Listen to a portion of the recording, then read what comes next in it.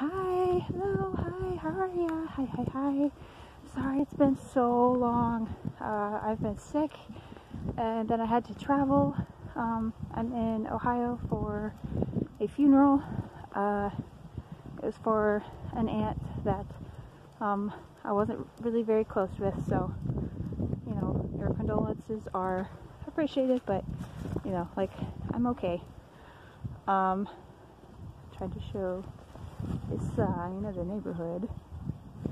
So, yeah, so I'm sorry uh, if I cough because um, I'm still sick. No, it's not the coronavirus, it's just a cold and probably airport crud. Um, I know I didn't fly internationally, so it's not the coronavirus. People are freaking out over the wrong thing. So, I'm currently in Cuyahoga Falls, Ohio. So, I'm, I'm from Flagstaff. So, this isn't like too big of a change. It's actually really warm here right now um, for February in Ohio.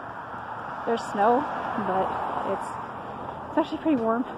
Um, normally there'd be like a blizzard and you know a couple of feet of snow, and it's just like a few inches, you know, barely. Um, so I flew with Mija for the first time. I had to get a brand new suitcase for her. I got one of those hard shell ones. Not a Pelican case because I couldn't afford one. But um, she made it okay through uh, a hard sided case. Her ears got bent a teeny bit. Um, but nothing that I couldn't. Oof. As I run her into a tree. Nothing that I couldn't fix. Um, sorry for like the crappy. God dang it. I'm gonna screw up her ear. sorry for like the crappy angle. Um, I just, like a few minutes ago, just broke my selfie stick. So the angle isn't going to be the greatest. I'm sorry if I'm like breathing hard because I'm walking, obviously. But I wanted to give you, you know, a little tour of my family's neighborhood in Ohio. And it's nice, but it's like every single tree looks the same. Every single house looks the same. Oh, god dang it. Every single tree the same height. I should know that because I keep bonking my ear. So it's really nice. Um, really kind of a ritzy neighborhood, but uh, it looks the same. that kind of, you know, creeps me out. My cousin, he's three years younger than me. Well, actually, only two. He's uh, his birthday's this week. My uncle's birthday is actually in the same week, so we get to celebrate their birthdays. Um, but my cousin just graduated from college with like a sound design, sound recording kind of a degree thing. It's um, it's a bachelor's of science. I didn't know that that was like a bachelor's of science thing. I would think that would be a bachelor of arts, but whatever. So he said he wouldn't mind working with me on making some music for my channel to help brand my channel, as I say. So that means I have to come up with some kind of music, and unlike the entire this half of my family, of my family tree, my mom's side of the family, I am not musically inclined. I can't play anything, I can't sing, whereas they are all currently or were and you know church choir. They can all play multiple instruments.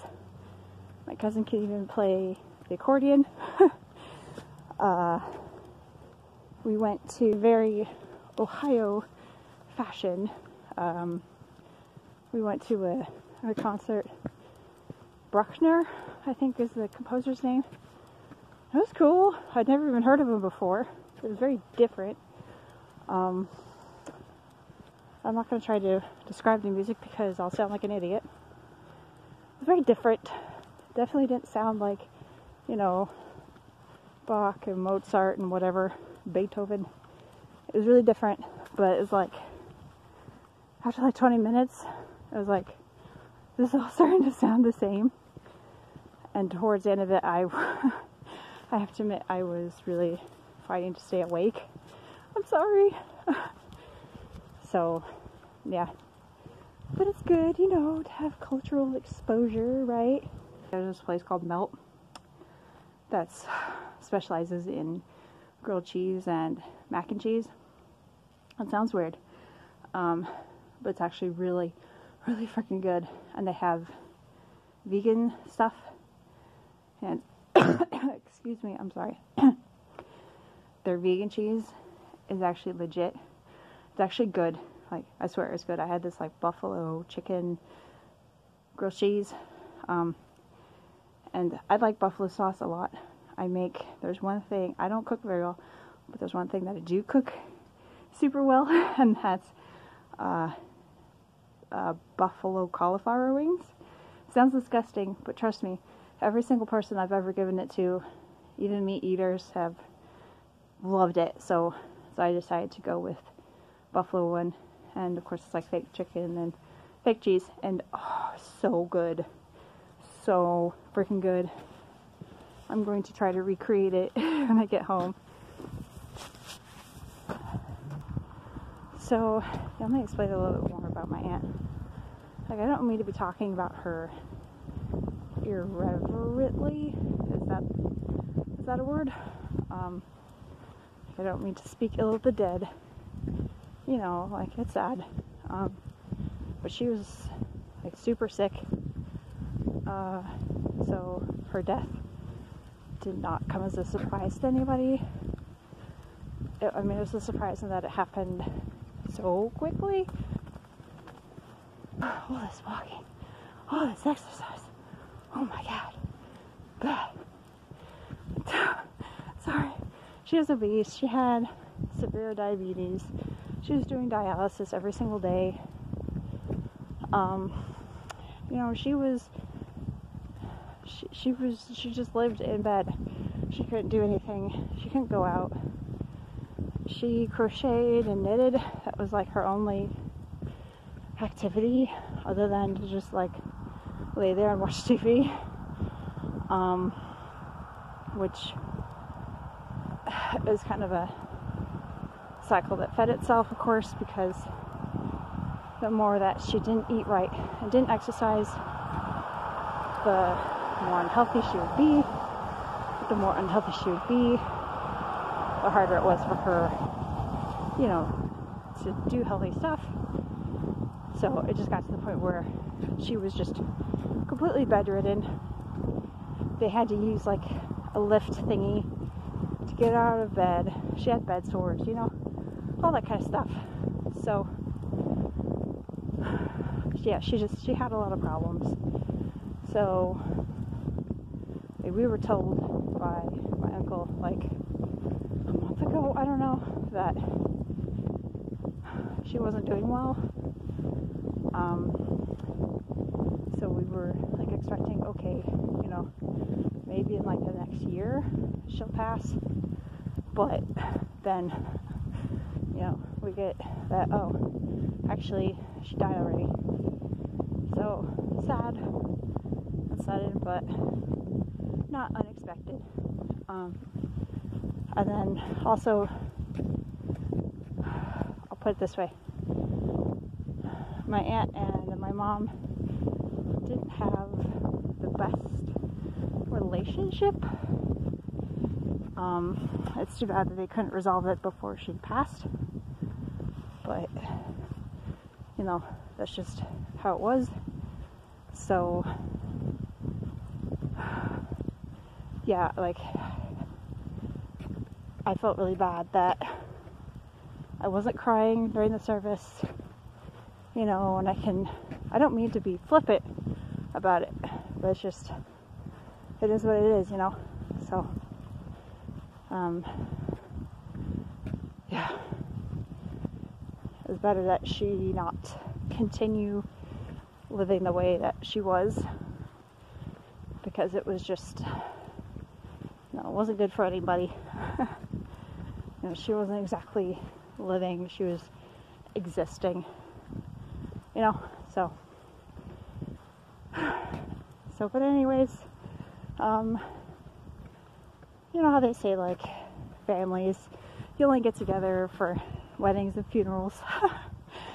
so we're here for like a little over two weeks um, to spend some time with the family also because we haven't seen them since my grandpa died. and, you know, God willing, the next time we see each other, it won't be for a funeral.